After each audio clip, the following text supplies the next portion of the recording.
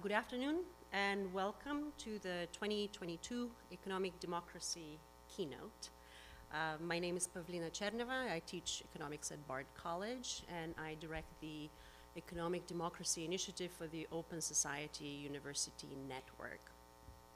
Um, EDI's research, curricular programs, and community engagement are centered around a basic question. How do we bridge cutting edge economic thinking, data, macroeconomic policy to what are internationally recognized economic rights. These are the very basic essentials for a decent and dignified life the right to a job, the right to housing, health care, income security, to name a few. And current economic policies, which aim to eradicate economic insecurity, but are not grounded in a framework of legally enforceable rights to these very basic necessities are bound to disappoint. Um, and the reason for this is because crises, pandemics, recessions, they concentrate the mind, they draw our attention to the problems of poverty, of uh, homelessness, inequality, joblessness, but that attention very quickly wanes as soon as the economy recovers. And this produces an incoherent stop-go macroeconomic approach that never quite manages to address uh, economic insecurity or eradicate it altogether. And this is not for lack of tools or means, we do have them. This is about policy orientation. And what we get from this policy failure is a global economy where the haves can weather any storm, but the have nots are left with precarity, with instability, and with trauma. Um, the inevitable impact of this approach is rising global inequality, which is the topic of today's talk. So I am delighted today to introduce to you our guest and our keynote speaker, Professor Jayati Ghosh. Few people have shaped the global conversation on social, economic justice, public health justice, gender equity, like Professor Ghosh. For her work, um, she has been asked to advise governments in India and around the world uh, to consult international organizations such as the ILO, UNDP, UNCTAD, UN Women, um, and she's also a member of several um, international boards and commissions, including the UN High Level Advisory Board on Economic and Social Affairs, uh, the International Commission on the Reform of International Corporate Taxation, and last year, she was appointed to the World Health Organization Council on Economics, on the Economics of Health for All. Uh, this year, she was invited to um, the UN Secretary General High Level Advisory Board on Effective Multilateralism. Professor Ghosh has taught for over 35 years in uh, JNU University at New Delhi She's currently a professor at University of Massachusetts in Amherst and is the author of more than 20 books and 200 journal articles. Please join me in welcoming Professor Ghosh.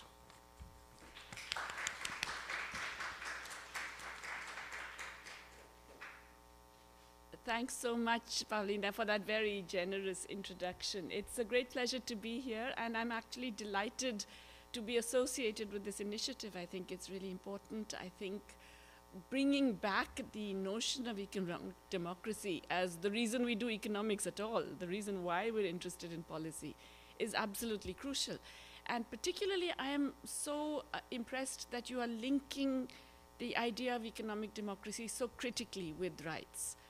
Uh, because it's, as, as you said, it's unlikely that we will ensure this without this being legally codified and required and incumbent upon states to deliver, because otherwise, uh, if you like, the political forces and the power imbalances in our world are too strong for us to be able to confront them continuously, and especially in the face of crises and, and various other kinds of upheavals.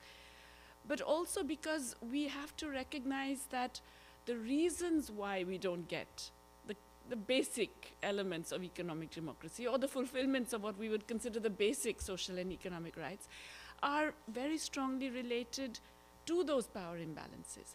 And those are reflected in the growing inequality that you mentioned. But in a sense, the inequality also causes that lack of the achievement of rights. And what I'm going to talk about today is, is more global, but it also reflects very much at national, subnational, and local levels in terms of those power imbalances. Uh, so I'm going to try and identify some of the big, some of the big picture sort of circumstances of global inequality, and then hone in on how those actually get reflected in the absence of the economic and social rights that we all want, and in the absence, in fact, I would say, the growing absence of economic democracy in many parts of the world, and then finally maybe consider what we can do about them. Okay, so um, okay, that's how we how we go down. So just a bit of context first, which is to say that uh, this uh, the pandemic has created very much a concept of what we would call, you know, the before times and the after times. That the pandemic has changed everything and so on. Hey, it didn't actually. I mean, it changed a lot of things, and it has given us this very peculiar period of two and a half years, where all kinds of things have almost seemed in abeyance or or, or uh, sort of just frozen in time. But we have to remember that capitalism globally was not in good shape even before the pandemic. Yeah, I mean, there were all kinds of uh, problems with it. We had slowing global growth. Uh, I can just show you that briefly over here. So, over the past half century, actually, you're getting lower and lower rates of growth of global uh, income, okay, GDP. So, yes, overall, money incomes are growing, but and economic activity is growing. But if you look at the rates of growth, those are the orange, then broadly there is a general decline. Now you can say GDP is not the best indicator of human progress. I completely agree with you. I'm completely on the side of those who say we should not be measuring uh, progress in terms of GDP, monetary activity, and so on. But hey, that's what capitalism is all about. Capitalism is about growth. That's its raison d'etre. That's the reason it exists, okay? And so if it's not doing well on growth, then capitalism in its own terms is not doing so well, okay? That's, that's the first point. Even the growth that we've observed since the global financial crisis, which uh, you were probably in school when it all happened, but since then, just keeping to those relatively moribund, relatively slow rates of growth has required massive injections of liquidity. Okay, unbelievable. 28 trillion, I think, is the amount that the central banks of advanced economies have released into the global economy. the 28 trillion dollars since 2009, which is not a small sum, shall we say, historically unprecedented, massive, massive injections, just to keep afloat, just to keep things going. Why is that? Really, because in a way, what we had in that period of neoliberalism that culminated, if you like, in that financial crisis, except that it didn't culminate, we still have it. But what we had in the two or three decades before that was this massive um, context in which capitalism, or shall we say, large capital, was too successful for its own good. Uh, what do I mean by that? So, in biology, you may have heard of this prey predator syndrome. And basically, it means that if you are a prey, you need, uh, sorry, if you're a predator, you need to keep alive your prey, at least certain amounts of it. So you can't eat too much of your prey. If you keep eating up your prey, then you won't have more food. Eventually, the predators will suffer if they overeat the prey. Okay, and it's a well-known biological sort of relationship that the, that you need to preserve certain amounts of your prey just to keep alive. Well, what did capitalism do? It kind of overate, or large capital overate. Large capital consumed everything that could inhibit its functionings in any way. And in doing so, it kind of, I won't say killed the golden goose, but it certainly reduced its ability to, uh, to feed on the system. Why? Because it destroyed the regulatory power of states, which enabled states to provide some limits and, you know, preserve some rights of citizens and of others in the system. It destroyed the bargaining power of workers. Globalization, the entry of massive, you know, workers into global labor market from the developing world, China, India, elsewhere, etc., reduces the bargaining power of workers, enables capital to demand worse and worse conditions of work, lower and lower wa- wages, larger and larger shares of the value added in economies everywhere. So we see, you know, wage shares of global income going down in every country in the world. Uh, and it basically re- reduced the welfare measures that were provided to citizens. The welfare states that were established in much of the advanced world in the post war period all got eroded. Less and less social protection of even the most basic kinds was offered across the world. Now, all of this meant what? It meant that people didn't have the money to buy the goods that capital could keep producing, or what is often called underconsumption. There wasn't enough consumption, and that was because you I mean, you, you, you, know, there's only so much that Elon Musk and Bill Gates, etc., can consume on their own, right? Even if they keep going to the moon every second day, it's still not enough to counter the declining consumption of billions of people across the world. So capitalism, in that sense, generated this lack of demand. Okay? And so this was, yes, an outcome of these dramatically rising inequalities of incomes, of wealth, and of the falling shares of wage income that I've mentioned. But it turned out to create a problem. So these then meant you had to constantly think of new ways of generating demand. So why did we have glo the global financial crisis, which begins, originates with that subprime crisis in the United States, because you had to give, instead of work, giving workers wages, you had to give them debt. You know, you, you were reducing their wage share, so they were able to consume less, but you needed them to consume more. How do you make them consume more? By getting them into debt relationships, which simultaneously deliver more incomes for finance. Okay? So all of this really meant that even before the pandemic, global capitalism was already, if you like, limping along, fed by these enormous, enormous um, uh, liquidity uh, uh, injections into the economy from the advanced central banks. And it also meant that global investment growth was extremely volatile. What I haven't added here, I didn't want to spend too much time on it, is that what's really interesting about this global investment, it's not just volatile. Most of it, believe it or not, in the last two decades has been public. In the major economies, this, the additional investment has been public investment, including in the United States and China. China, people will not be surprised because everyone knows China is supposedly, you know, state-led economy and so on. But actually, the share of public in total investment has been higher in the United States than in China in the last two decades. And it, so it, it isn't even private investors who have been keeping these economies afloat. And then, in that context, you get the pandemic, right? You get this COVID 19 shock. Now, what I'm going to look not at the shock itself so much as the impact of it and the implications of it. But one of the extraordinary, I mean, it, of course, it revealed lots of existing inequalities. We know that within countries, across countries, but it very starkly revealed this inequality in fiscal capacities. Okay? So there are really, really sharp differences in the kinds of fiscal support that governments have provided since the COVID shock. The advanced economies went to town. Suddenly, all this talk about how there's no money, we can't do it, we can't afford to borrow more, went out of the window, right? Uh, everybody who had been telling you there's no way the budget can just expand on the basis of central bank money expansion, we can't do that. Suddenly, the money was there.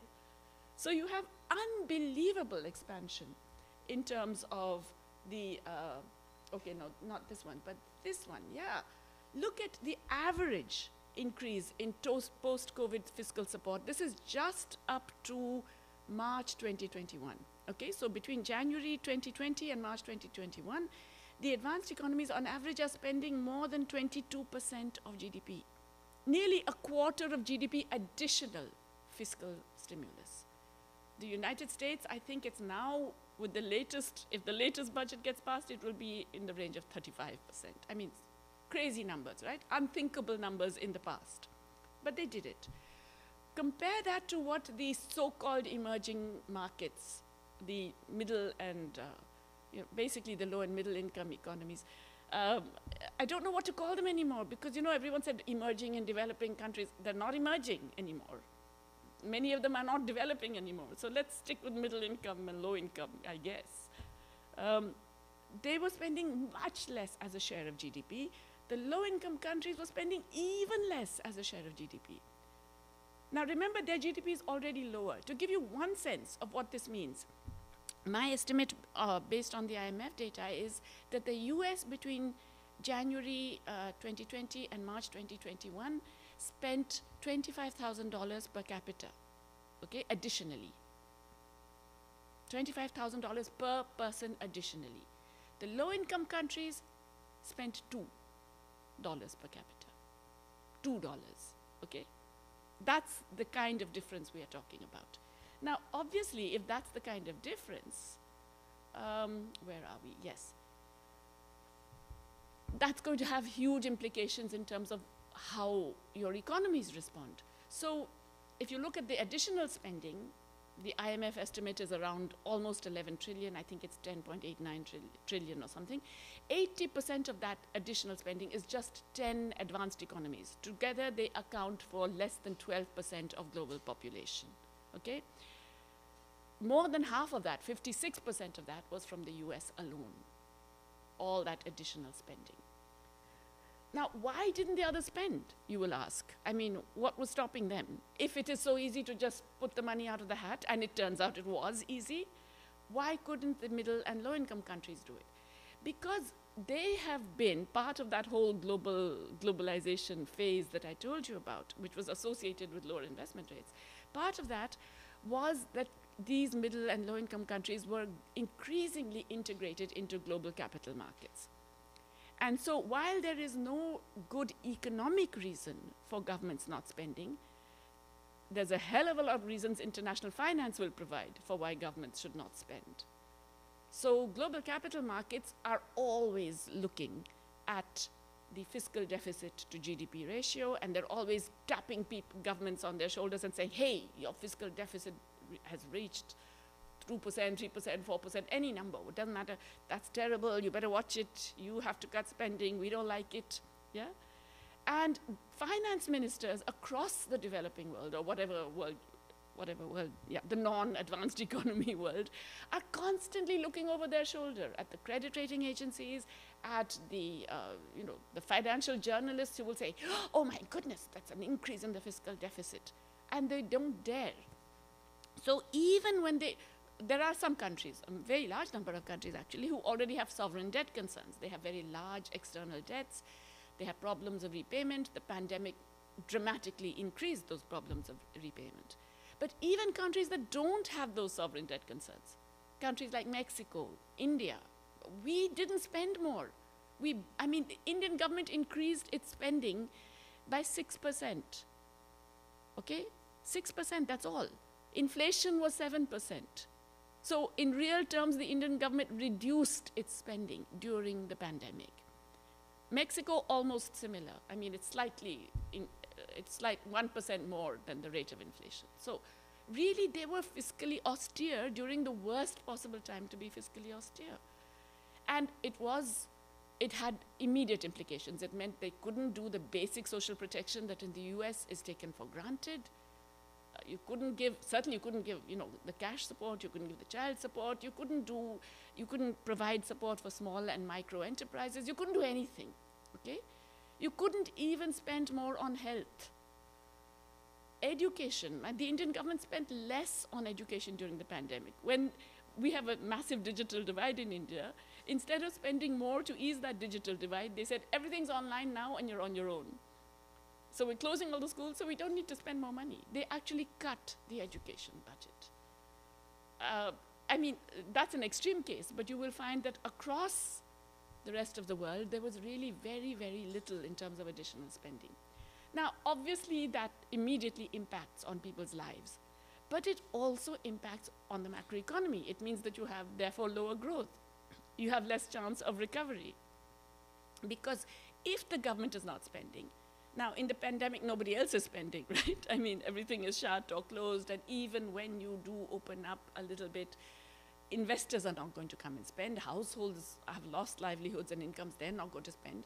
The only agency in that economy that could increase spending is the government, it's public spending, and that didn't happen.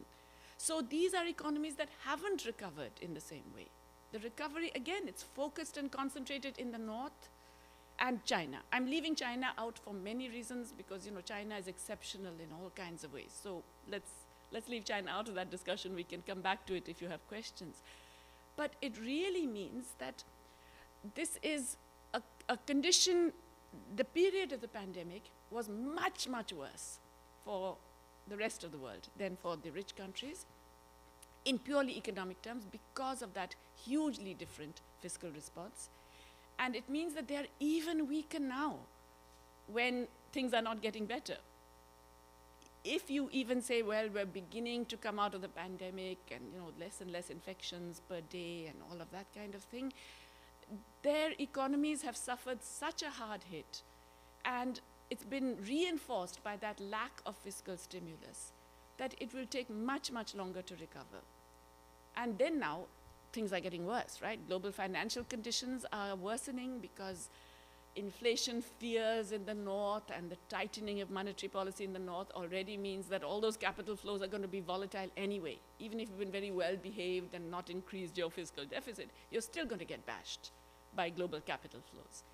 The Ukraine war has not helped either by causing significant increases in food prices which and fuel prices, both of which affect a lot of the rest of the world.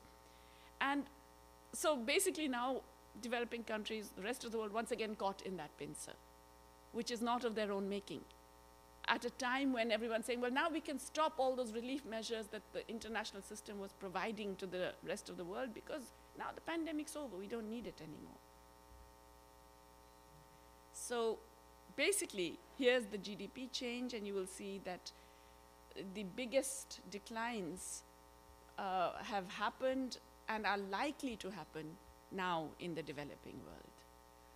I've already talked about the fiscal responses, so I'm. What's the right hand side of this chart? It's interesting because you know what's it's really interesting. We spent less additionally than we did after the global financial crisis, even though this had been a much bigger crisis.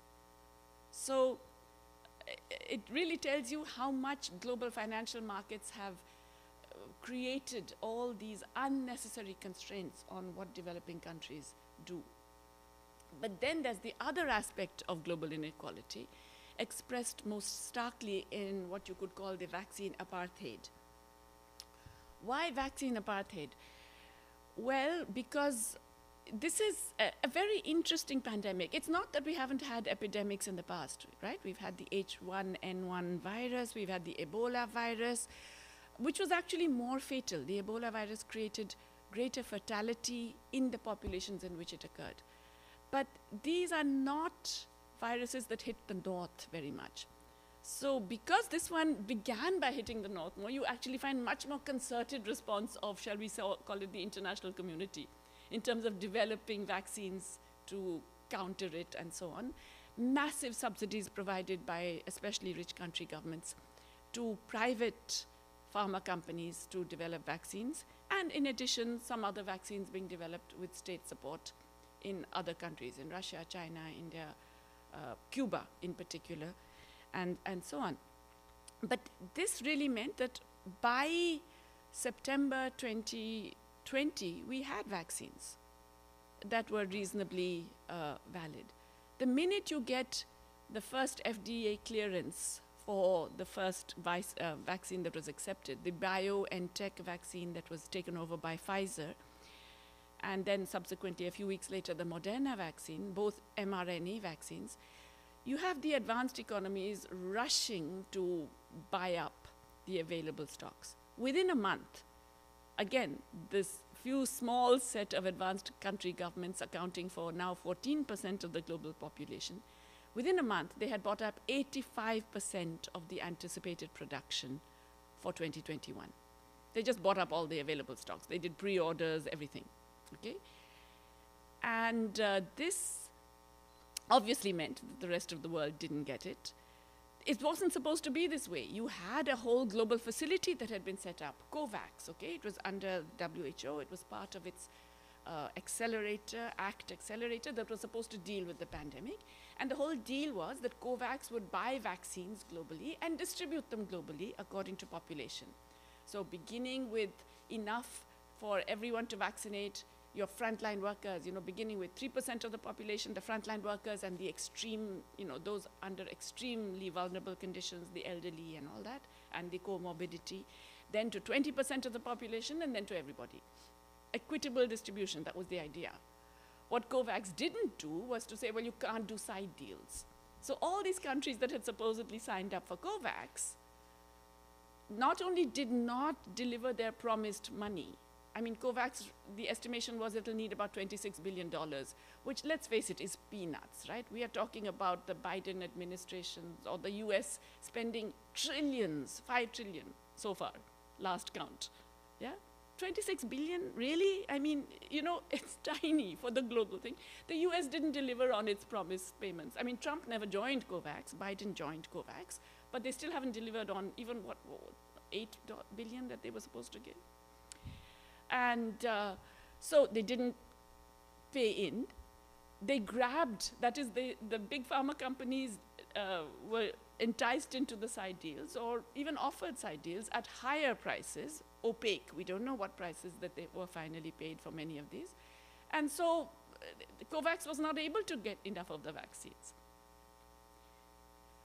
Then, of course, it's not just that, it is that why was there such a limited supply? Because there were only a few companies making these vaccines. But why should only a few companies be making these vaccines? These are vaccines developed with public research and public support. So the mRNA vaccines, you know, the ones that most of you probably have, right? Pfizer and Moderna, the big ones in the US and in most of the advanced economies. These 90% of that research was done in public labs in the United States, in the UK and by publicly paid professional workers, okay, scientists and others in the labs. The last mile, that last 9 to 10% that was required, was funded by subsidies. So BioNTech gets, uh, I think it was uh, nearly 500 billion, 486 billion or something euros from the German government to do the research required. Moderna got more than 2 billion in the first round. I think finally it's got up to 10 billion from the US government. Covered entire R&D costs. It could not have, no way it could have cost more than that. And it used patents of the US, held by the US government. It, uh, the US helped it to get all the access to the patents it needed to do the work for. So it was entirely publicly funded. Yet it is handed over to Moderna and Pfizer to say, okay, now you run with it. You've got the patent. You produce. They were not forced to share technology with any other company. They were not told that you have to give compulsory licenses to other producers in other parts of the world or anywhere to expand production. No limit, no requirement at all. So you get this for free. Why would any government do this? Not for the benefit of their own people, surely. Not for the benefit of the rest of the world, surely, but for the benefit of the big pharma companies. So, you know, that nexus continues unabated. AstraZeneca. So, how did that one happen? Because Oxford University had a lab which had developed this enti- entirely public research. Okay, it was public and charitable funding that enabled the development of that vaccine. And originally they had said, we are going to make this open access. We will put the entire stuff up on the website. We will tell everybody how to make it. We will share this technology because it's in the public good. The um, Gavi, the Vaccine Alliance, in which Bill Gates plays a major role. And the Gates Foundation is itself a major funder of Oxford University. I think they've given 400 million just for vaccine development. They persuaded Oxford University not to do that, but to go instead with AstraZeneca and said, we will make sure that AstraZeneca doesn't profit from it during the pandemic. Well, what we know happened is that AstraZeneca now holds the rights they did keep the prices a bit lower, but they did also prevent wider access. They did have compulsory license deals and sharing of technology with four other producers, but that was limited. It wasn't universal, it wasn't widespread, it was limited. And now they're saying, well, now we're going to make profits. Now the pandemic's over, so we have to make profits. So you buy boosters, you buy it at three times the price. They were actually charging differential, higher prices in the developing world than they were in Europe. Okay? All this was not necessary. All of this could have been prevented very easily by public policies. Okay? But not only did it happen, but there was, has been absolutely zero outcry in the developed world. I mean, frankly, to me, it's obscene that public health professionals in the United States are talking about giving the fourth vaccine, maybe the fifth booster, to pe- people in the United States, when only 14% of Africa has been vaccinated fully, and less than 20% has got even one dose. Okay? So, this is uh, an indication, this is slightly out of date, but uh, the, unfortunately, the picture hasn't changed much. Really, what's happened is that the countries that are already dark have got darker because they've had even more doses. Yeah, there's a multiplication of the booster doses in the rich countries and giving it to two year olds and three year olds, and maybe, I don't know, now they'll start giving it in the womb, I don't know. But you do, you do not get the distribution of the vaccines in Africa in particular, but in most of the rest of the world. And it's completely unnecessary. It really doesn't have to happen. The other aspect of this is something which I'm sure you would have heard a lot about because uh, Pavlina, I'm sure, will have been talking to you about it. The fact that, you know, informal workers obviously suffered much more during the pandemic.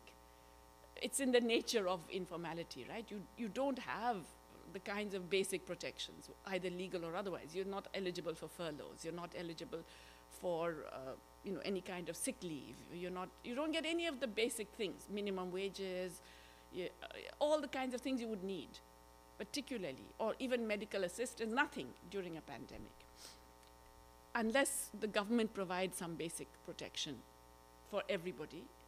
Uh, health worker, I mean, nobody, right? Often you're not even recognized as workers.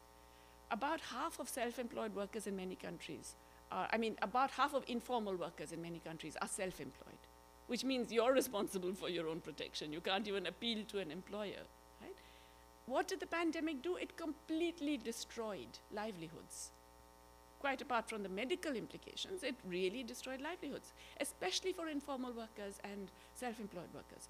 But most of them live in countries where we didn't increase public spending. I already showed you that, right? I showed you how, what the massive differences were in terms of the fiscal spending. So, globally, in the developed world, about 24% of workers are informal according to the ILO. In the developing world, or the not rich countries, it's 70% of workers are informal. And in some countries like India, 90% of our workers are informal. That is, they have no legal or social protection. And it turns out we were the ones who did the harshest lockdowns. We were the ones who imposed the most severe restrictions. So if you look at the right hand side over there, uh, the kinds of um, informality is on the, the vertical axis, and the stringency of the government response is on the um, horizontal axis. So look at India, we're out there on top. We had the most stringent lockdown. It was imposed like a military curfew. People were beaten when they were seen on the streets. You know, it, it was just uh, beyond. You did that in a country where you have no social protection. You have, uh, they're all informal workers. You're denying them their ability to survive, and you're beating them if they dare to try and earn a living. And you have governments that are not increasing their spending in this period. Okay? So the inequality that happened within the countries, because of that wider fiscal inequality, was even sharper than you might imagine. We now also have and so, um, you know, clearly, big, big increases in insecurity, food insecurity, and hunger. Okay, so the FAO had already estimated this is in the middle of the pandemic that anywhere between 80 uh, to 132 million people were going to be undernourished because of the pandemic. This is in addition to the existing 850 million whom they said were undernourished globally. Okay, the FAO definition, I should just also inform you, uh, has reduced the number of hunger, hungry people because they lowered the bar. This is a great way of meeting the SDGs. You know, you basically say, oh, you're not, you think you're hungry because you have only so many calories per day, but actually, no, we've lowered the bar, so you're not really hungry. Uh, you need less calories than you think. But what do we have since then? Eh, First of all, the pandemic itself created these supply shortages and so on. You know, food supply chains, delivery, local production. Remember, this is also a period where climate change is already happening. So there have been new pests, there have been different kinds of movements in climate that have affected agricultural production. But the main reason for hunger has been lack of money, lack of incomes. The livelihood collapse has been the fundamental reason why you have much more hungry populations now, globally. And it's not being helped by recent inflation.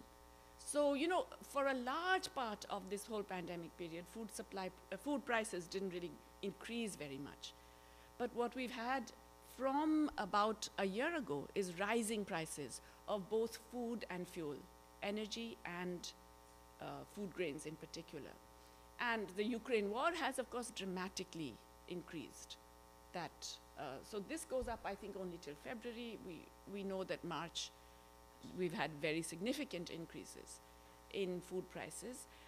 Some of it is definitely due to the supply constraints created by the Ukraine war. But by the way, that's only part of it. A significant part is that a lot of the food price increase and fuel price increase is being driven by speculation in the financial markets. Commodity futures markets are on song. They have been massively investing in these commodity futures. And it's because still the banks and the big financial institutions are able to access very, very cheap liquidity. And this is one of the places that they've chosen as a place to put their money.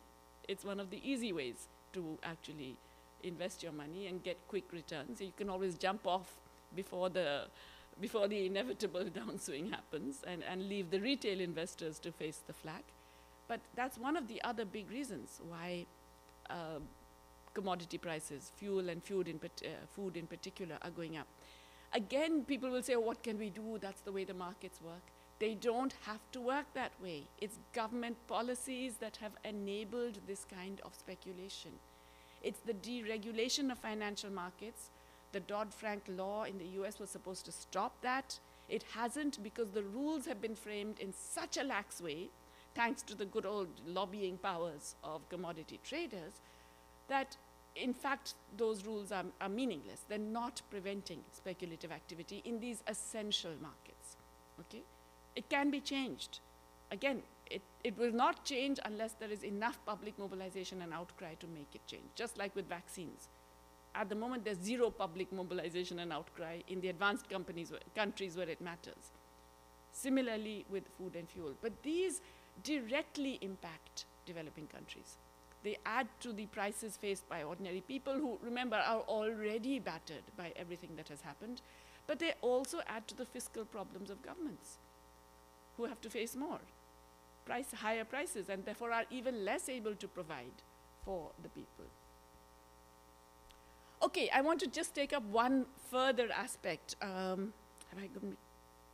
Oh, I'm talking for too long, but let me quickly talk about climate change because, again, you know, it's another aspect which is the, the inability to solve the climate problem is, I would argue, it's fundamentally due to inequality global inequality and within country inequality. Okay? So, how does this work? Well, the way we do it, you think we should be doing it globally because, hey, I mean, you know, the climate doesn't look for passports and visas. It's not being stopped at the border by anybody, right? So, it's a global issue. We should be dealing with it globally. Unfortunately, it is still dealt with nationally. Every country makes commitments. And then you go to this international forum, the COP, yeah? Uh, COP26 was last held in Glasgow in November 21, and you declare you're going to do some reductions based on your own responsibility. So we have all these climate negotiations, every country gives their estimates. One big problem with the way the negotiations happen is that there is nothing recognizing what has been called the carbon debt or the climate debt. Okay, the fact that basically the rich countries are responsible for the historical carbon emission, which is why we have a problem today. And therefore, in a sense, they should at least be addressing some of that. There are all kinds of other issues. Uh, they rely, I'm not going to spend time on this, it's a complicated issue, but they use not the existing market exchange rates, but they use purchasing power parity exchange rates to give incomes of different countries. What that does is overstate the incomes of poor countries. So they are given a greater responsibility than they need to. Um, I, I'm happy to answer questions on that, but I'm just going to run through that. Then, of course, the measures are based on production. What are, how much carbon are you emitting within your own national borders? But supposing you're importing a lot of that, supposing you're passing off all that carbon emitting production to China and India and elsewhere, then it should be consumption based, right, rather than production based. That's not how it is done at COP. It is all production based. And so everybody then points fingers at China and India. China is now the largest emitter. Emitter, everyone says, shame on you, shocking, you're just terrible, how dare you. And then India says, we won't reduce coal. And they say, oh my God, look at India, they're driving us all into climate extinction, etc. But if you look at the debt part, today's developed countries, remember, 14% of global population are responsible for 80% of the global cumulative carbon emissions for more than one and a half centuries. Now, you could say, well, okay, but nobody knew that carbon emission was a problem for at least, you know, I mean, why pick on us? Because we were doing this when nobody knew it was an issue. It turns out that more than half of these emissions were done in the last 30 years, when everybody knew there was a problem. And when you had technologies to reduce it, when you could have done mitigation much more. So it's not the case that, you know, this is something so far in the past that you can ignore. That carbon debt is relatively recent and it continues, okay? These 14% of the world population will continue to emit much more. It's built into their own zero carbon pledges. It's built in that they will continue to dominate and account for about 60% of global emissions until 2050. If you look at the per capita emissions, you realize why it's a bit unfair to blame India. Okay, so per capita emissions, the United States is out there, but of course there are also other countries like Saudi Arabia, which is an oil producer, and uh, Australia, which is a big mining producer and all, which have high per capita emissions based on production.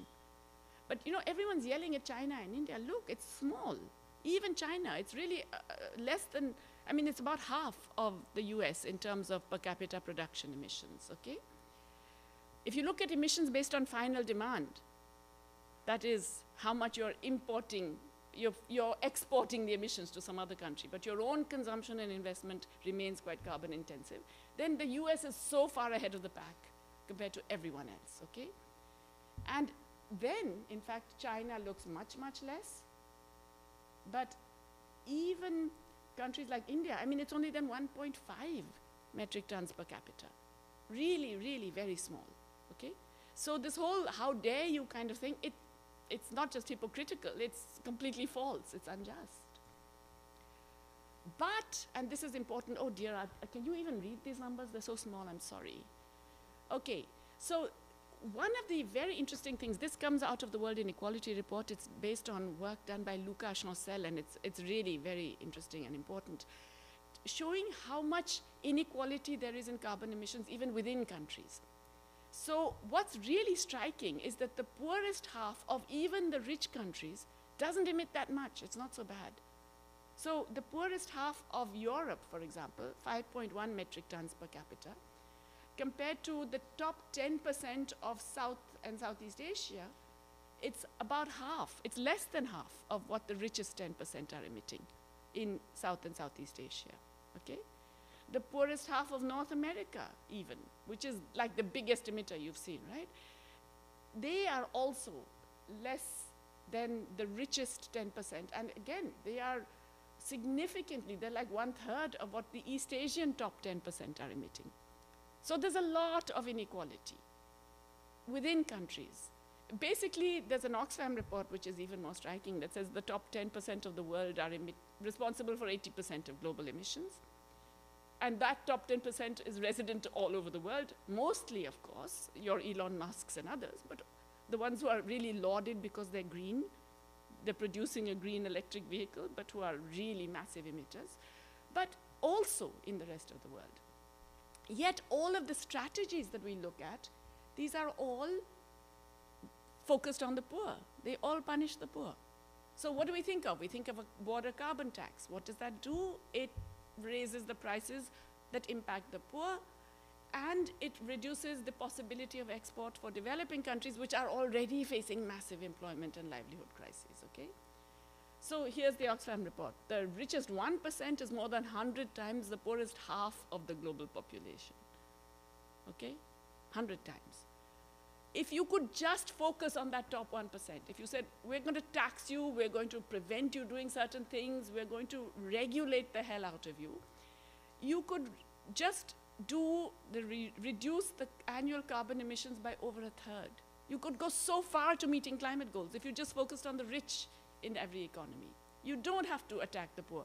But currently, all of the policies that are advocated impact the poor differentially and they don't address the excess consumption of the rich. And again, it's not necessary. It's something we let our governments get away with. So it's a, it's a false dichotomy to say, you know, you can either choose development or you get poverty and you get, you know, you can either choose climate mitigation with lots of poverty or you can choose development and more carbon emission. That's false. You can do it with greener technologies. You can improve the energy efficiency, you can change patterns of investment and consumption. You can, within energy, go from the bad stuff, coal and petroleum and so on, to the better stuff, the green and new, renewables and so on. You could change urbanization patterns. All of this requires investment and it requires technology. Okay? But you can do it. There's an estimate by Ch uh, Chomsky and Pollin in a book they have a couple of years ago which says you can uh, actually do this with 2.5% of GDP globally spent every year, which is not that much, right? I mean, as I said, advanced countries, out of, a, out of the hat, they generated 28% of GDP, Katak, right? So you can do it if you want. Uh, the, the critical thing is to make them want, but it's not just the finance, it's also the access to technology. Currently, we have an intellectual property regime that actively prevents developing countries either from getting access to the latest technologies or even trying to develop their own. When they give subsidies to develop their own technologies, they face cases in the WTO brought by the US. So really we have to fix these. None of this is necessary. All of this can be changed. These are all part of regulatory structures that are rigged in favor of big capital. And it's part of the prey taking over so much that now they're not going to just destroy, the, sorry, the predators taking over so much that they're not just going to destroy the prey, they're going to destroy the planet, right? And we let them. I mean, I think that's the critical thing. So,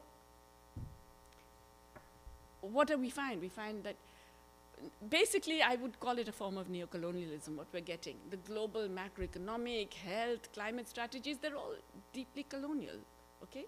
How do we revive then a progressive multilateralism? Because we obviously have to get rid of all this unjust stuff, which is counterproductive.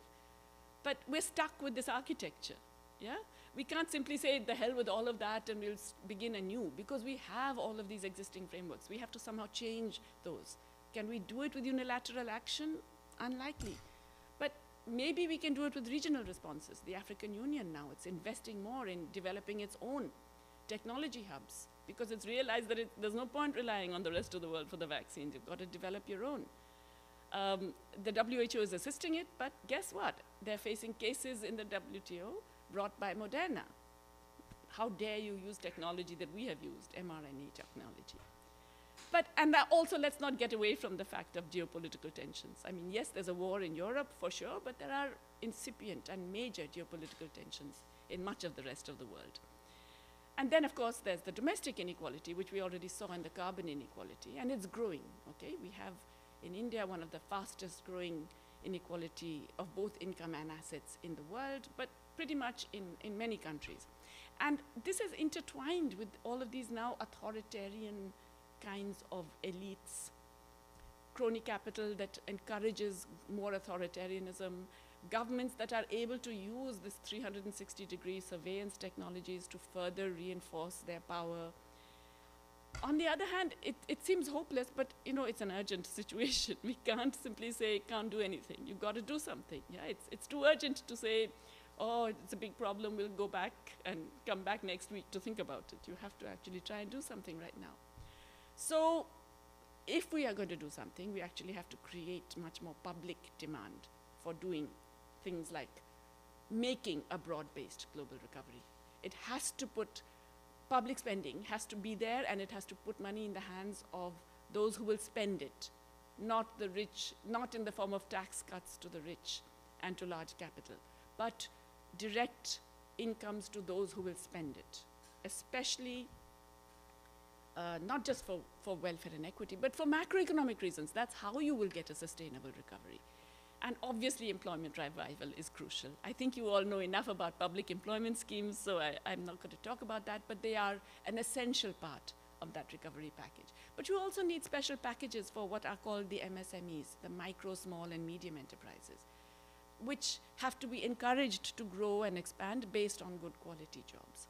I've talked about food security, which also means that you have to address the cultivation crisis, the fact that agriculturalists now find it very hard to be viable, the fact of dealing with climate threats for both adaptation and mitigation. And in all of this, the care sectors are absolutely crucial, okay? Care investment is critical for future strategy. And it's both a necessity and an opportunity. You would have thought the pandemic would show governments how essential it is, but turns out it wasn't good enough. You needed, I don't know what you need to make governments see this, but, but what's interesting is that, you know, care, unlike a lot of other activities, it's relational. So technology can never replace it. You, will, you, you can have technology assist you, but you can never do without the caregiver. If you promote a lot more positive investment in care, you get much more positive employment effects and it's also inevitably employment intensive. So there are many advantages in a world where people are fearing that the fourth industrial revolution will remove the capacity for job generation, okay? Also, you know, demography means you're going to need more care. Whether you're a young society or an aging society, you're going to need much more. We are under providing care because we are hoping markets will deliver. They don't. We have to do it through public intervention. So basically, what am I saying? We need a, a, a New Deal and we, we need it to be global, okay?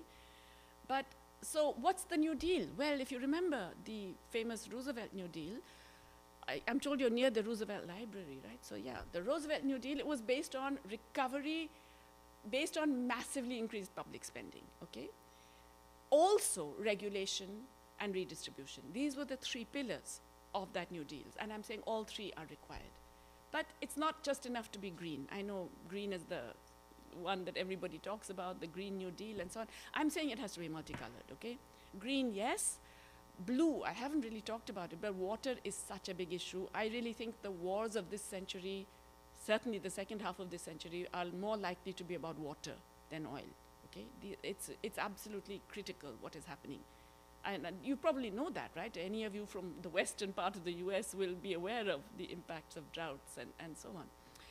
So it has to be green and blue recognizing all the different climate and environment challenges. It has to be purple. That is the emphasis on the care economy. Purple is seen as the color of, of care work and the care economy in general. And it has to be red. It has to redistribute in assets, in incomes, in opportunities, in food, in essential public services, in employment. And it has to be reduced. These inequalities have to be reduced not just by class, but by gender, by age, by social category, race, ethnicity, you name it and it has to be global. What does that mean? It means you have to have the appropriate international architecture, which means controlling finance, con limiting these intellectual property rights, uh, uh, tax cooperation. It's such low-hanging fruit. There is so much capacity to tax rich individuals and multinational corporations that we're simply not taking advantage of. They're paying much less tax, lower rates than all of us, okay? Debt relief for countries that are unable to actually function because of all this big overhang of sovereign debt, expanding special drawing rights of the IMF, putting a peace clause in the WTO, stop having these incredibly unjust and ridiculous cases that prevent good stuff from happening, and much, much more financial regulation. And I'm sorry to have gone on for so long, but let me stop here.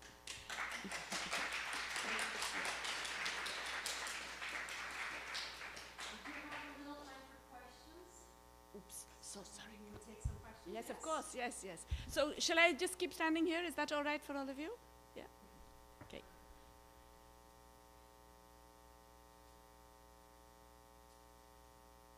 No questions, that's a bit depressing. Oh, yeah, go ahead, yes, please.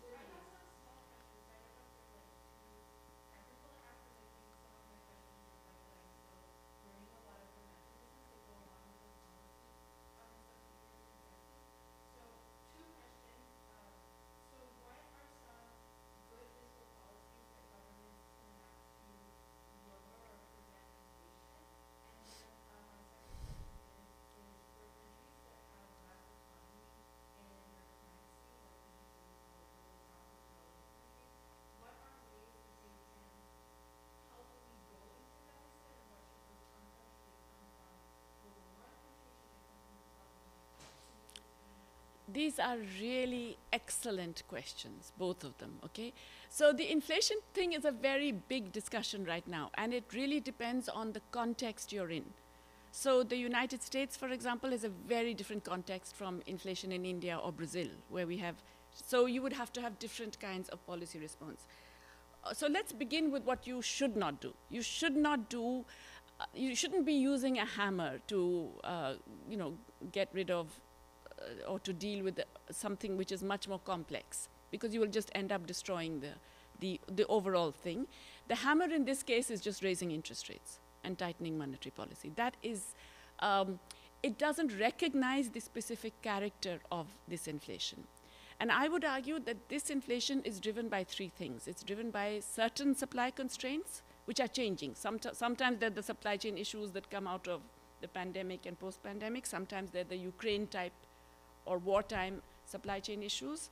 Uh, for that, you need strategies that reduce those constraints, the bottlenecks, okay? So it could be public spending directed towards reducing those bottlenecks in different areas, okay? Uh, that's the number one. The number two is that there is significant um, increase in financial activity that is causing certain prices to rise, okay? Speculative activity uh, which is absolutely the case for food and fuel. I've, I've already mentioned it. There is, we can see that there's huge increased activity in the commodity futures market, and we are getting uh, futures prices being higher than spot prices, which is a typical case of you know speculation feeding the, the current spot prices. And so you bring in regulations to prevent that. Okay? And third is price gouging let's not kid ourselves. Companies are taking advantage of this and declaring shortages and etc. This is an, I would say, a very evident case for certain types of price regulation and controls. My young colleague in the UMass, she wrote an article in The Guardian, Isabella Weber, on how price controls should be something considered. And of course, she was banned and pilloried, and everybody got after her, including Paul Krugman and others, saying this is so stupid uh, it's interesting because Krugman himself had argued for price controls earlier. But you know, the U.S. is full of price controls. Uh, fuel, the price, the consumer price of fuel is hugely controlled in the U.S. And in fact, right now, Biden has just released strategic reserves designed to lower the price of fuel. Again, uh, rent controls are price controls. There's a whole range of different price controls.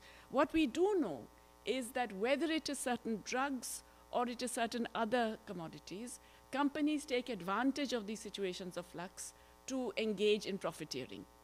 And therefore, there is a strong case for price controls in those specific sectors. Okay? Um, I would say that's the combination for the US. For countries like India, Brazil, it's a whole different ballgame. Because, first of all, we have currency depreciation, right? We are already getting capital flight because they've announced, the US Fed has announced that they're going to be cutting you know, raising interest rates. So we're already getting capital flight. Our currencies are already depreciating. That generates inflation. We import uh, fuel, we import fertilizers, and we import some food, all of which the global prices are rising. So these are cost push elements that are hard for us to control. Okay? For that, we will need to think of specific measures to generate more supplies domestically.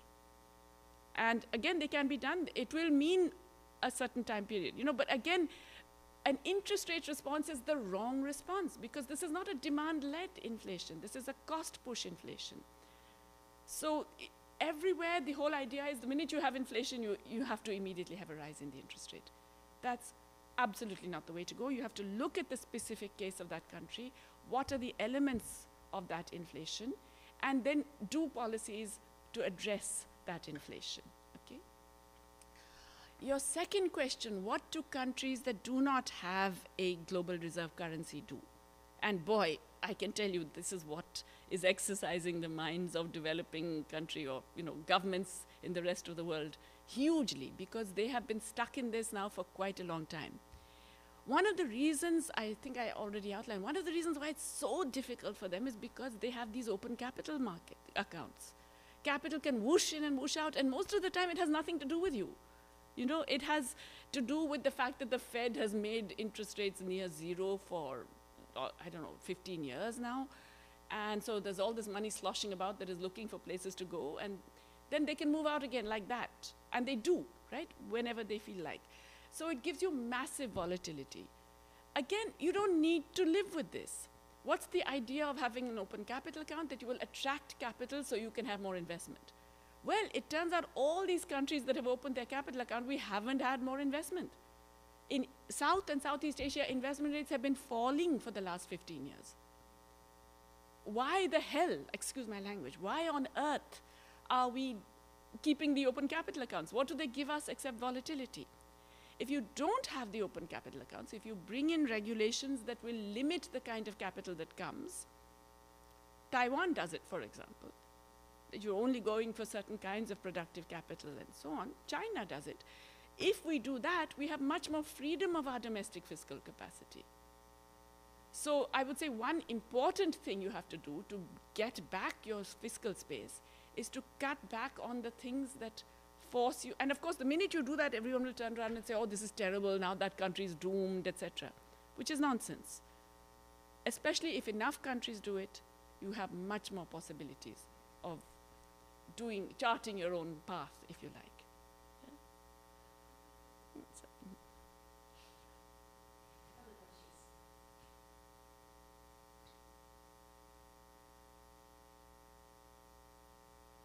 Yeah. Yeah, go ahead.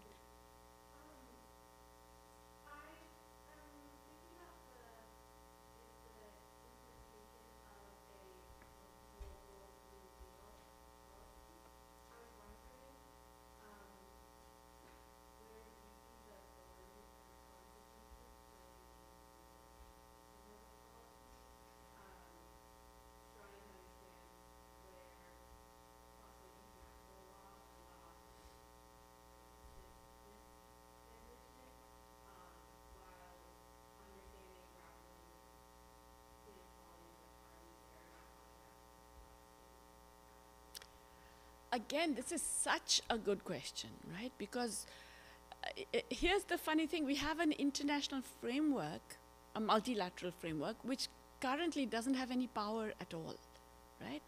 And that's a problem because you need to do things globally, as I've said.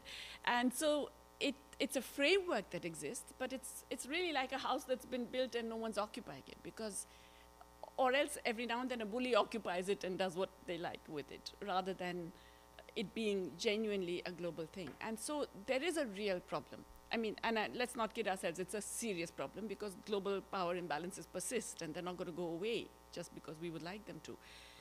It's also true, though, if we do persist in this, that we are heading for mutually assured destruction, right? I mean, no two ways about it. We are heading for, I don't know, climate change of excess of 2 3% in, in certainly your lifetime, which will have consequences that we can't even begin to contemplate, and all kinds of other things. I mean, extreme uh, dystopia in terms of human and social relations and so on. So I suppose the whole question is can you imagine that mankind would, or human humanity would step back from that brink? You know, and uh, let me say, I, I think it would. Uh, okay, maybe I'm wrong, but I think it would, especially because the framework exists, right? Now, what does that framework mean in terms of the legal constructions? And I think that's such an important part of it. Because, you know, what we have realized, what I've now realized rather late in my life, is that economics ultimately it's all about law. Yeah? And there's a wonderful book by Katharina Pistor, I don't know if you have read it. It's called The Code of Capital.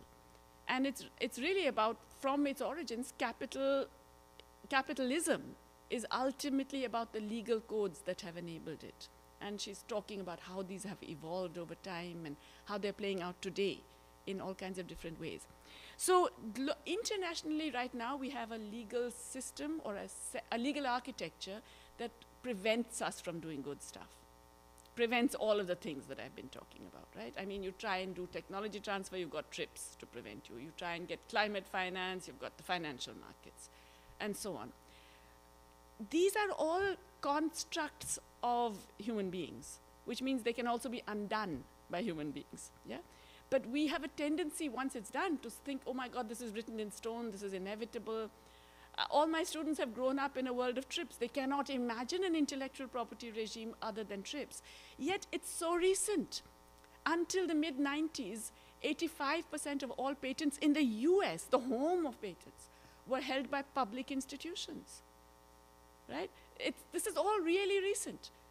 And so somehow we've persuaded ourselves that this cannot be any other way. It can indeed. It just, it, but it does require much more concerted mobilization yeah, and much more awareness that which are these constraints, which are the legal codes and constraints that are st stopping us from doing things. And then, of course, finally, what you said, that, that the problem is, though, the power imbalances. Because, let's face it, the empire will strike back, right? And they're not going to give up big capital, very rich individuals, etc., are not going to give up these positions uh, of power and ability to garner the global surplus without a fight. And they are able to fight because now they are assisted by governments who are much more openly in bed with them, if you like, and technologies that they can use to make everybody think in different ways. So yeah, it's a tougher call. Is it an impossible call? I don't think so, because you know, it, that's the funny thing about technology. The things that you can do this way, you can also do it the other way. Yeah? Uh, I, was, um, I was telling Pavlina last night that uh, I had a teacher, when I was a student at Cambridge, I had a teacher, very famous economist called Joan Robinson, who used to visit India a lot. And she had this favorite saying. She said, everything you can say about India, the opposite is also true. So let's extend that to the world. Everything you can say about the world, and I've said pretty depressing things. Everything you can say about it, the opposite is also true. You can also find you know, the pushback. You can also find the democratic urge. You can also find the demands uh, in different places, in different parts. And sometimes they're just the thin end of the wedge, sometimes they're different, isolated things, but they all add up and they can make a difference. So I would say it's a tough call, there's no question about it, uh, but it can be done. It needs much more wider public awareness and mobilization. But you know, even that can happen, it's not impossible, and it's happened in the past.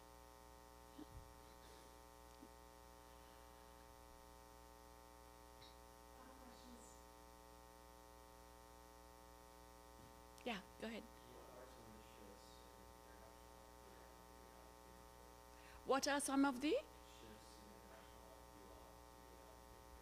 Well, first of all, I would insist that the current TRIPS regime, which requires, first of all, it has a very low bar on what is a patent or what, I, what things you could demand monopoly control over, okay, whether it's industrial design, etc., very, very low bar. You change that back to the earlier uh, systems which prevailed in many countries with a much higher bar. You reduce the length of the patent. It's currently 15 years is required of every country. In some countries, it can go up to 30, 40 years. You reduce that to five to seven years. You demand much greater freedom of compulsory licensing, the kind of freedom that exists in TRIPS, but it's never been allowed to be implemented because they bring all these cases each time. So you expand the possibility of compulsory licensing. You bring in the possibility of TRIPS waivers whenever there are emergencies, right? So there was a demand for TRIPS waiver, there still is in the WTO, brought by India, South Africa, and 156 developing countries. All asked for a waiver for the pandemic, for all COVID-related drugs, therapeutics, diagnostics, etc. Okay, resisted by mainly Europe. Do the TRIPS waiver for those global emergencies. Do it for things like climate change, which is a global emergency. Yeah. Uh, so these are some of the specifics. I mean, we could go in detail. There are many things in TRIPS that would require change, uh, but essentially they are all easily done because all of these they were literally brought in just you know in the 1990s. Yeah. Uh, during the Uruguay round, there is a wonderful book for those of you who are interested in this by Susan Sell. She's a law professor, and uh, I forget what it's called. It's a, but it's an open access book. You can download it. Susan Sell. She has a wonderful book on how TRIPS happened, and it was really these 12 men, huh? 12 men coming from the big CEOs of pharma, IT, and uh, finance. These four guys met on the sidelines one day in Davos and said, We really should do something to make intellectual property an essential part of these GATT negotiations, and then the whole story of how they managed it and succeeded it. So if they could do it, I mean, surely the more of us, for God's sake, maybe we can also do, do something in the opposite direction.